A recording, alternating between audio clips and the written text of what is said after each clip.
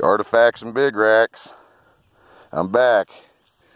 Well, I can't walk very far today without finding stuff, so check this out.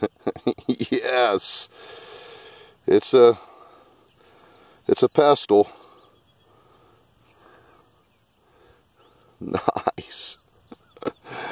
oh boy. And then right, right you know, I started to set that down and there's a nice little bi-point. So, and I just picked up a broken point. It's in my pocket. It was a bifacial point that was awesome. But uh, I just wanted to show you that.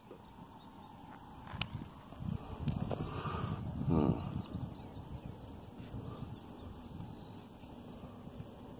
I just picked this up right. You know, this place is just loaded. I can move ahead here excuse the traffic. You know, it's just all over in here. But that's a keeper. That gets to go in the keeper pocket.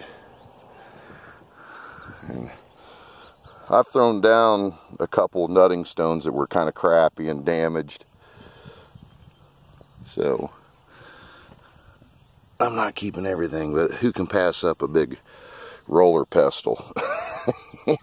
okay. So here's I'm gonna lug around some more weight. But uh, I just thought I'd show you that. You know, it's what kind of day I'm having.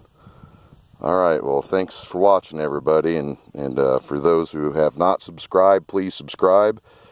Uh, just keep watching, everybody. Don't give up on me. Uh, I'm going to keep showing you nice stuff. All right.